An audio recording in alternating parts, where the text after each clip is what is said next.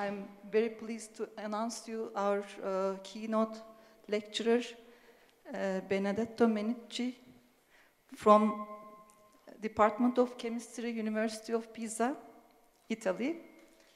Stage is yours. Thank you. Morning, everybody, and sorry for, for, for the delay. It's my fault. So uh, I want to start by thanking Carlos and the other organizer for this invitation. It's a real pleasure for me to be here and to talk uh, uh, in this Congress.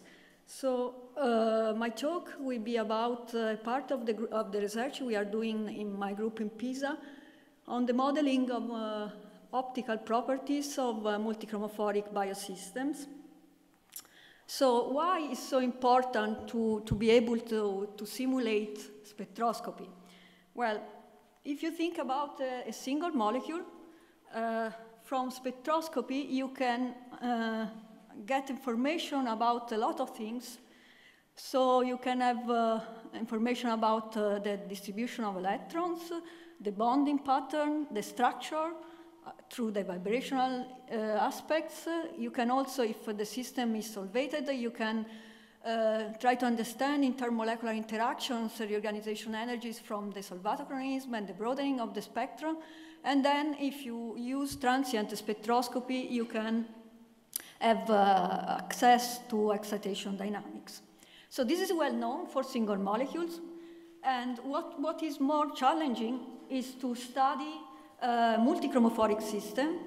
Sorry, multichromophoric system. Uh, here, for example, I have uh, uh an example of three uh, chromophores, A, B, C, with A and B interacting, while C is not interacting, and the spectrum, the linear absorption spectrum that you get, has two new, new uh, features, which are can be interpreted as shared excitation between A and B. In this kind of multichromophoric system, it's very useful to go from linear to uh, nonlinear, in particular two-dimensional electronic spectroscopy.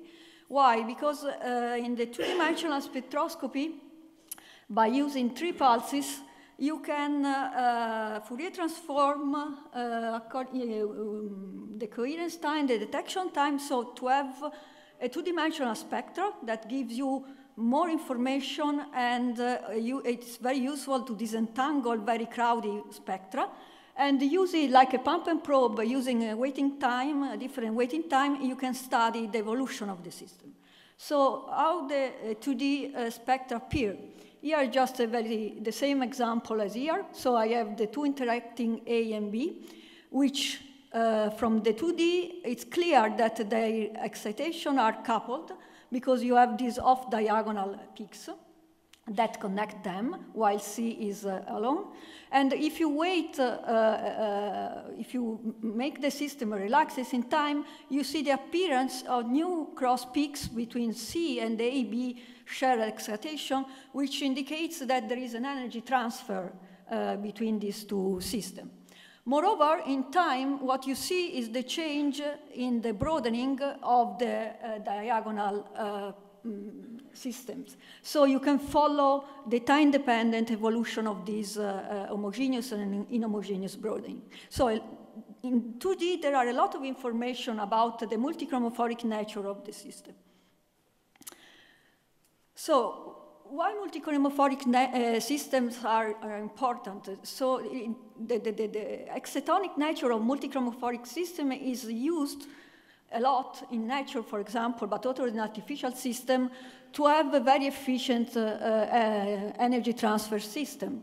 In particular, in nature, you, you, in photosynthesis, uh, the, the, light is uh, collected, uh, harvested by pigment protein complexes called light harvesting antenna, which are present in all types of uh, uh, um, photosynthetic organisms, going from algae, bacteria, and plants. And as you can see from this uh, graphical representation, the, the, the structure and the, and the, composition of these uh, of these uh, light harvesting antenna is very different in the different uh, organisms because it has been optimized for the condition where the organism live. But uh, the, the, the, the, process is the same for all. So this antenna system absorb light and uh, uh, transfer uh, the excitation energy to the reaction center where it is used uh, to initiate the photosynthetic network of reactions.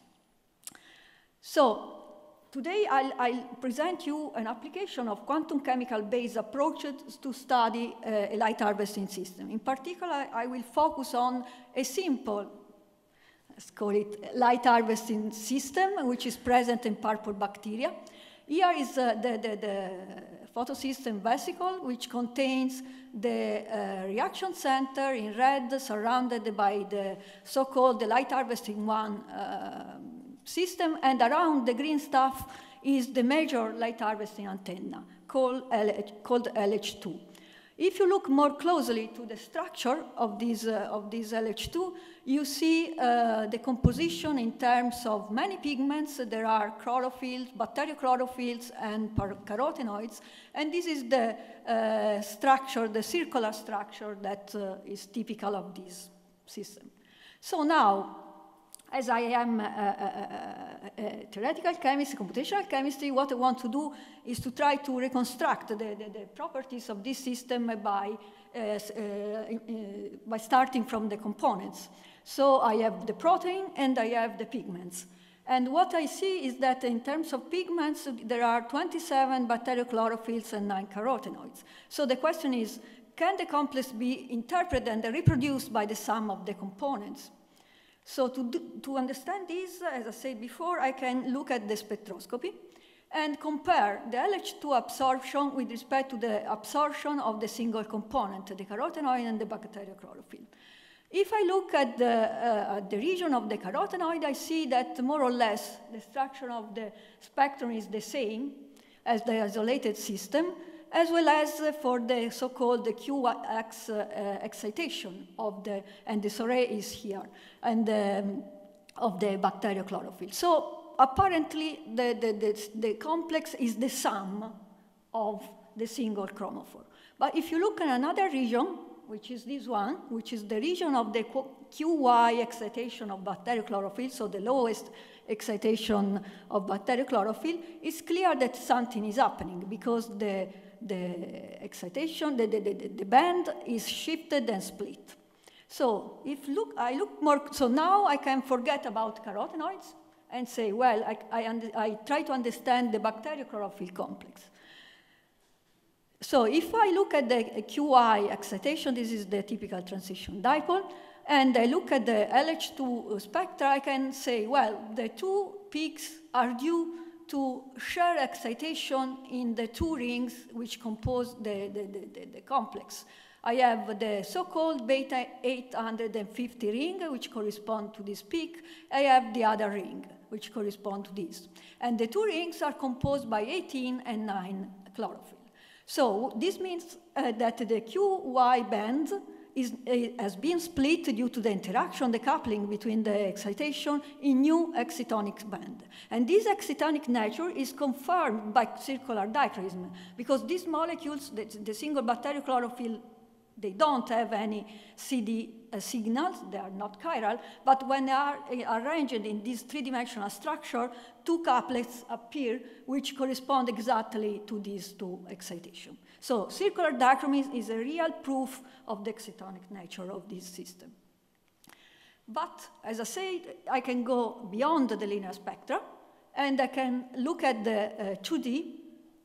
Uh, this is an experimental by the group of Van Grondelle in Amsterdam, and they did uh, 2D spectra of this system, and what they observed at waiting time almost zero is the presence of a cross peak, which is, uh, uh, says to us that uh, uh, the two excitons, the two exciton system, the two ring are also coupled. So there is a coupling between the two. This is a weak coupling, but it's still there. And also, uh, from, from, from the broadening, it gives a lot of information about the coupling of this excitation with the bath. So it's uh, another source of information. So now I can try to simulate all these uh, properties, but of course, uh, now the situation is more complex, more com difficult than a single molecule because uh, the question that I have to solve are, are, are more intricate than when you have a single molecule. So which QM method can I use? Which model for the environment? Which dynamical description and which vibronic, which uh, coupling between excitation and, and uh, vibration bath? So as it regards the, the, the, environment, the system is too large to be treated quantum mechanically. So what we can do is to switch to an hybrid method so combining quantum chemical description with classical models. And because of the uh, inhomogeneous uh, nature of the, of the protein, we cannot use a continuum model, at least we can, but it's not accurate enough. So what we do is to use an atomistic strategy, and the standard atomistic strategy is the so-called electrostatic embedding in QMMM. So what does it mean? It means that the QM system uh, feels the environment in terms of fixed charges which represent the uh, atoms in the environment. The, the, the, good point is that the QM part is polarized, is affected by the environment, but not vice versa, because the point, the point charges are fixed. So the environment doesn't see the QM system. So what we have tried to do is to uh, implement a more uh, refined version of QMMM, which is a polarizable embedding, and in the, in the polarizable embedding uh, that we use in PISA, the formulation is based on induced dipoles. This means that uh, uh, each atom of the, of the environment is characterized by a fixed charge plus a polarizability. This allows the system, the environment, to polarize with respect to what happens in the QM system. More in details, uh, for, for those who are interested, uh, what you do, what you have to do is to solve uh, a system, a linear system that uh, gives you the induced dipole once you know the electric field generated by the QM system and the electric field generated by the fixed charge distribution of the environment. And uh, uh, the problem here, there are two problems when you use a polarizable environment, a polarizable MM. First of all, you have to reparameterize the charges because charges polarizability has to be parameterized together. And you have to be careful about uh, possible overpolarization, overpolarization issues uh, which uh, uh, prevent a correct description. So to avoid uh, this so-called uh, polarization catastrophe, what you do is to screen the interaction among uh, dipoles when they get close. So you introduce a screening function. Well, when you implement this, now what we can do is to go back to the quantum mechanical system that, as I have shown, is quite large. So we prefer not to use a fully uh, QM description of the entire system, but we use uh, a simplified excitonic Hamiltonian. So if you start from your multichromophoric system, you can build the uh, Hamiltonian of this system by just using the properties of each independent particle, so the excitation localized uh, on each chromophore, and the electronic coupling between excitation. And if you use this, you can reconstruct the Hamiltonian, and by diagonalizing this Hamiltonian, you get the new excitation shared uh, among different pigments, these excitons. So in, in, our case, around the multichromophoric system, you have this environment that can polarize. So uh, when you excite the single uh, chromophore, in the excitation, what you have to take into account is that you have a transition density connecting the two, and you have a change in the density going from the ground to excited state. If you use a standard QMMM, you don't see anything of this because the, the environment is fixed. But if you use a polarizable one, you can uh, make the environment to respond to both these quantities. And in particular, what I show in this talk is uh, based on TDDFT. So in TDDFT, what you do is to solve this, the famous Casida equation. And what we do is to introduce the effect of the induced dipole in the response matrices So you have a, a, a, responsive environment to the transition, and we correct the uh, excitation energy due to the relaxation of the density going from the ground to excited state, uh, accompanied by the relaxation of the environment. So these are being presented for both continuum and uh, atomistic polarizable models. So uh, what about the coupling? So as I said, the other ingredient are the couplings between excitation. So uh, if you, uh, as in this case, if you consider bright excitation, so uh, in, uh, the interaction between them is dominated by Coulomb interaction. So you can forget about exchange, overlap, and other weaker interaction. So what we do is to calculate the coupling as uh, this, uh, by doing numerically these uh, integrals, the Coulomb interaction between transition densities localized onto pigments.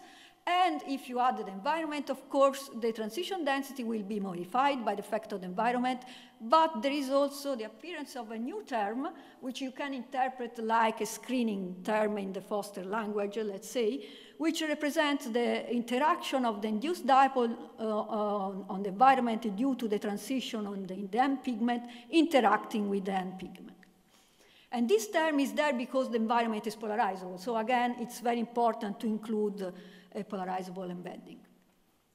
So now that I have the model, I can try to simulate uh, uh, the spectra.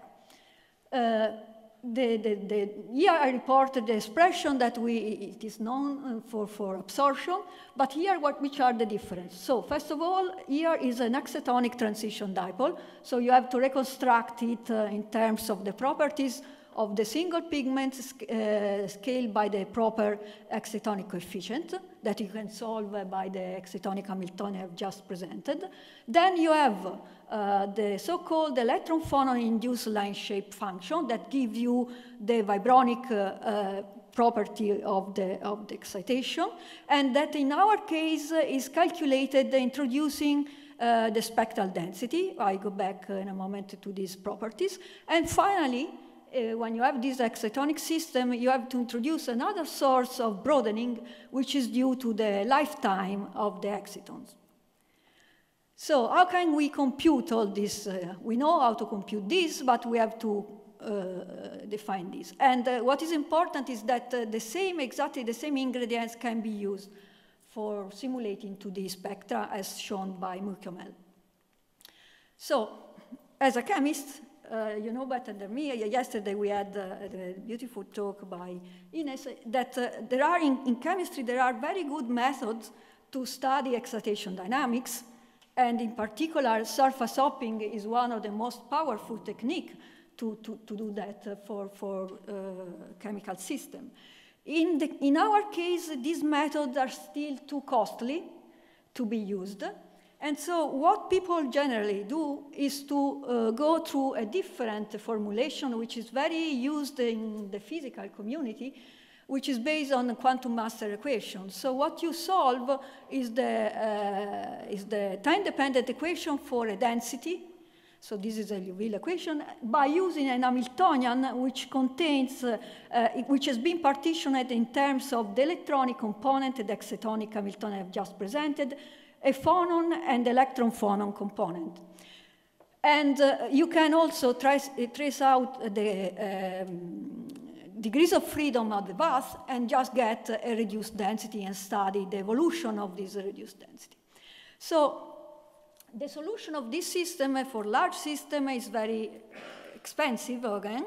So what we generally do is to introduce perturbative solution, perturbative approaches, the two most famous ones are the so-called Förster theory and Redfield theory. So they are different in the, in the, in the component which is used as a, as a perturbation element, which in the Förster theory is the electronic coupling and the system bath coupling for the Redfield theory. So in terms of the physics, the two perturbations correspond to very different physical situation, physical regime. So in the Förster approximation, the Förster limit, you assume that the transfer of the population in the excited state, is, it goes in a hopping way from one pigment to the other, while in the, in the Redfield theory, where the electronic coupling is large, you assume that there are the excitons that relaxes. So in this case, you can build, uh, you can uh, simulate uh, your excita excitation dynamics in terms of rate constant, the famous uh, uh, Förster constant. While in the other case, you have to solve the so-called Redfield equation that gives you uh, information about the way the exciton transfer. And in particular, the, the, the Redfield theory tells us that the excitonic state M can relaxes on another excitonic state if the energy difference between them matches some of the coupled vibrations. So here the main role is played by the bath, the, vibronic, the vibration bath. And uh, you can calculate uh, the, the, the, rate uh, through the function, which is uh, the, one of the main ingredients of this model, which is called spectral density. And in terms of this rate, you can reconstruct the exciton lifetime. So, if now I want to apply my uh, quantum chemical based method, uh, I can go back to my LH2 system and try to see if it works. so, uh, uh, first of all, as I said, the, the, the, LH2 is built in terms of 27 equal bacteriochlorophyll. They are all equal in terms of chemical composition, but the local environment is different, one with respect to the other, so you can identify three different types of bacteriochlorophyll, which are generally called alpha, beta, and gamma. And the three of them, the three of them are uh, surrounded by different environments, so you expect that they have different properties. So if you compute the different property with a, a QMMM formulation, uh, if you use a non-responsive environment, so a standard electrostatic environment, you see some difference, but it's very small. This is the tuning of the site energies on each of these three with respect to the isolated bacteria chlorophyll. While when you switch on a polarizable environment, you see a large redshift which much, much more differentiate, as expected, the, the three uh, molecules. So now the three bacteria chlorophyll becomes one different, with, becomes three different molecules in some sense. The coupling, what about the couplings? Here I just summarized the calculated coupling for the different interaction. Here I have the B800 green ring and the B850 ring internal.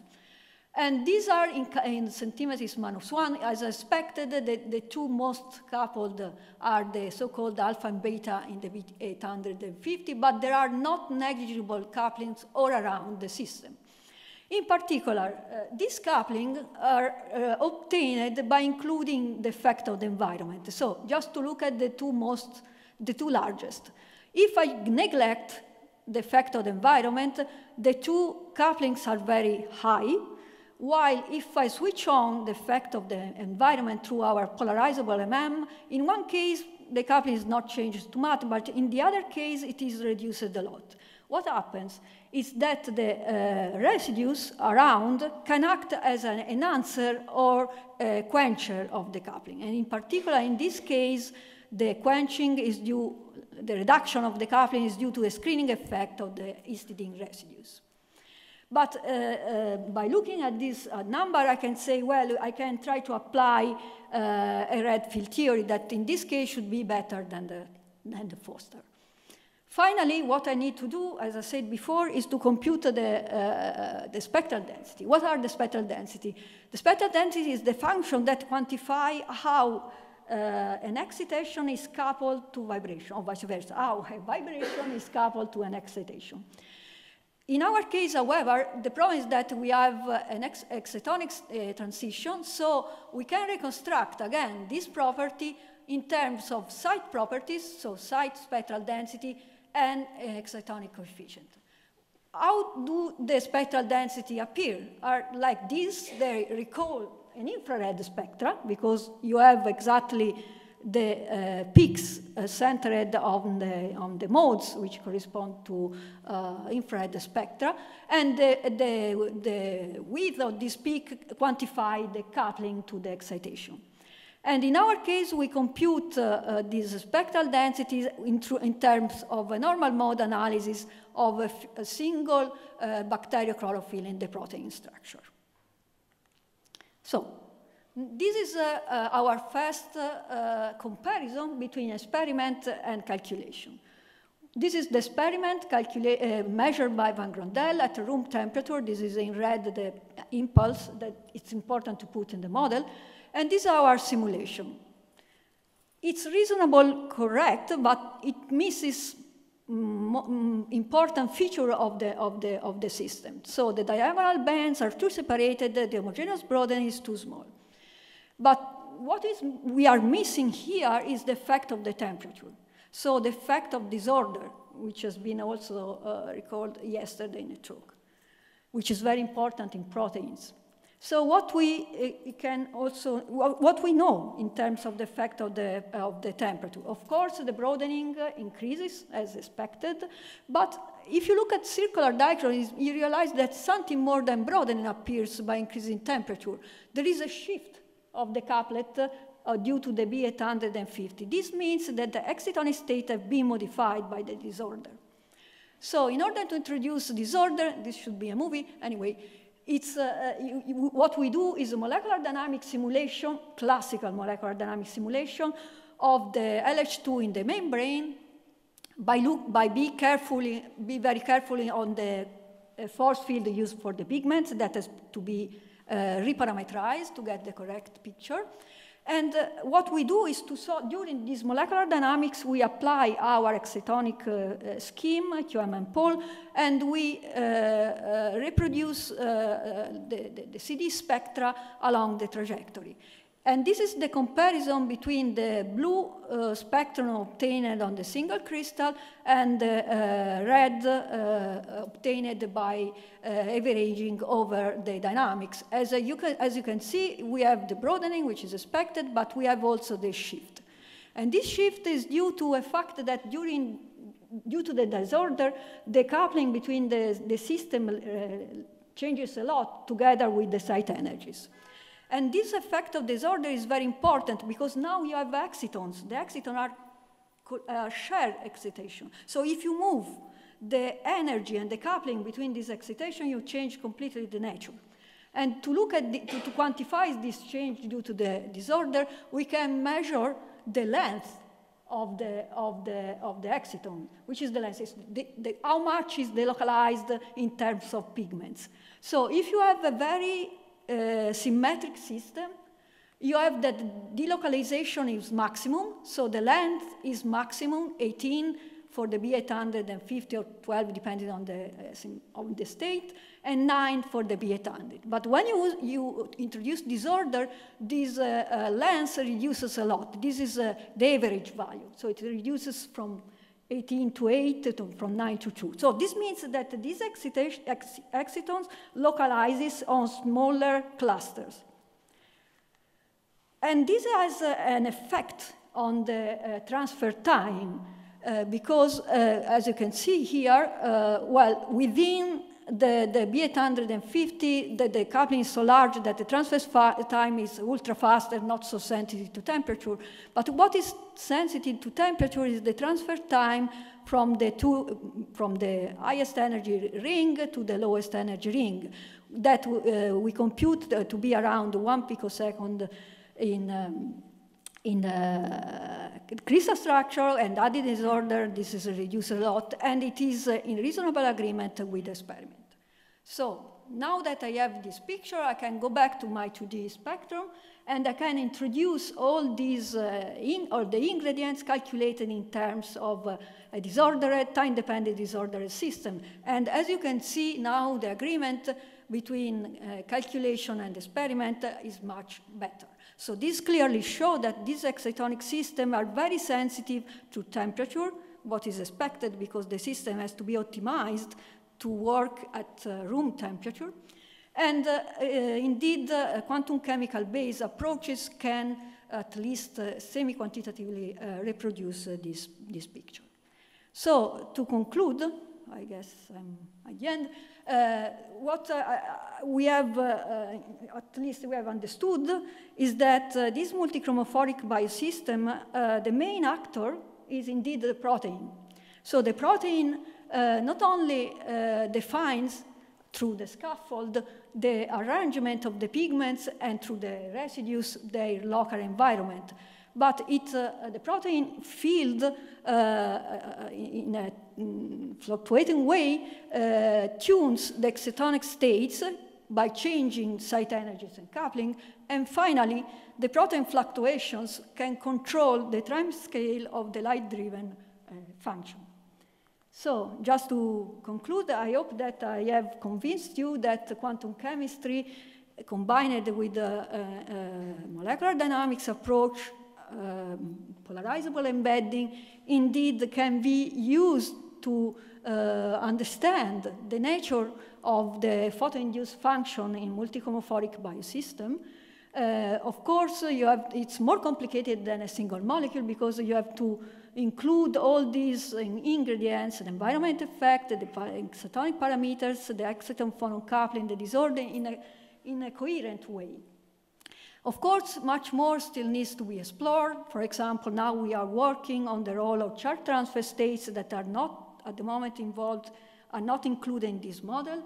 Non-electrostatic effect, we expect, for example, that dispersion effect can have a role, and also, we, we, have to, we want to go beyond uh, these uh, non-perturbative uh, Redfield-like, uh, uh, for example, going back to uh, surface hopping techniques.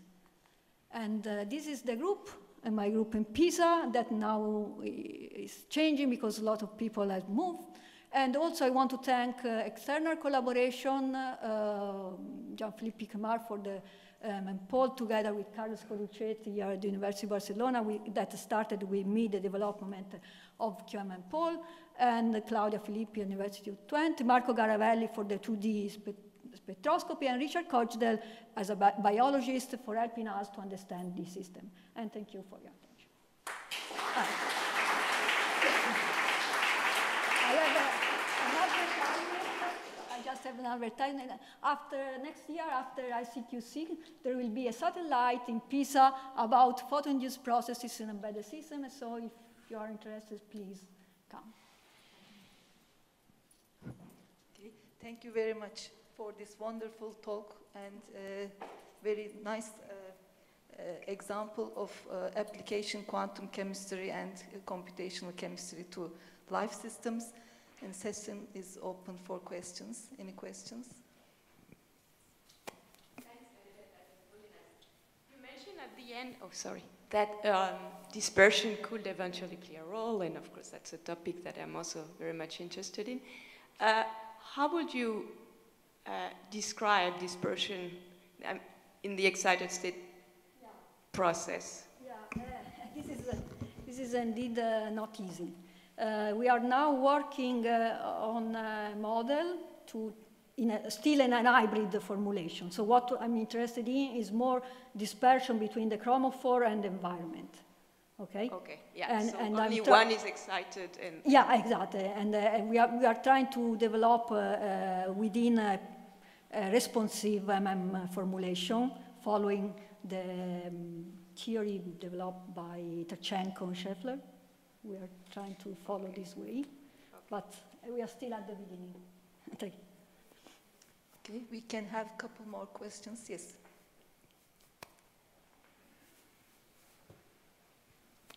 Really nice work, thank you. Um, just towards the end, you showed it was important to include disorder yeah. to get the shape of the, the peak closer to experiment. And you mentioned at the beginning that the rotation of the peak um, reflects some of the, the physics of the, of the system. Can you say a little bit more about how that arises and whether your sampling is complete and exactly reproduces the orientation or is there still a little bit more to do? Yeah, indeed, uh, this is a, a, very important issue in the sense that uh, when you have this excitonic system, uh, it's very difficult to be sure that you have uh, really uh, uh, simulated uh, your dynamics and fluctuation in a complete way. I agree with you. Um, what we what we have tried to, um, to, to, do is to, is to check the convergence of our results, of course, And uh, here, what we have seen is that uh, this LH2 system is very tricky because uh, the, uh, the, the, ring where the, the, the, the chromophores are very coupled, the, the role, the main role is the, exactly the coupling. So the effect, uh, the main effect in the shift is due to the change on the coupling. And this is not due to internal, intramolecular motion, but to intermolecular effect like this, which are even more difficult, I agree. You cannot be sure that you are completely right. But uh, we are trying to understand step by step. But it's, it's a very important issue. We, we are now using also QM, MM dynamics. One more question. Okay. If it,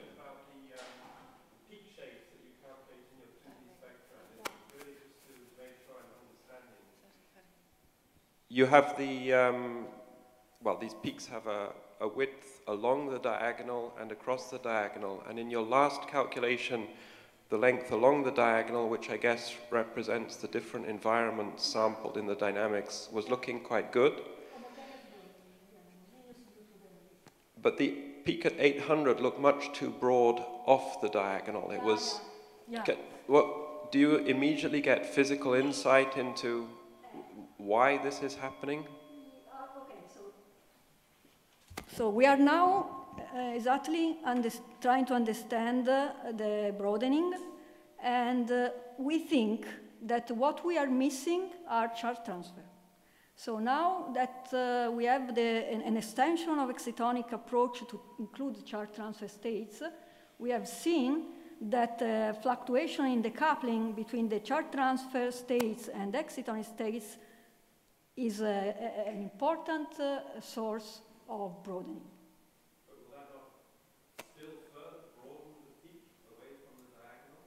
Yeah, there is also an effect of uh, shifting the peak uh, along the diagonal, but there is uh, also an effect on the homogeneous broadening. And it's quite significant, this. We are just now trying to include it. But it's, uh, it's not known experimentally. They don't understand the origin of this broadening, which is very different for the two peaks.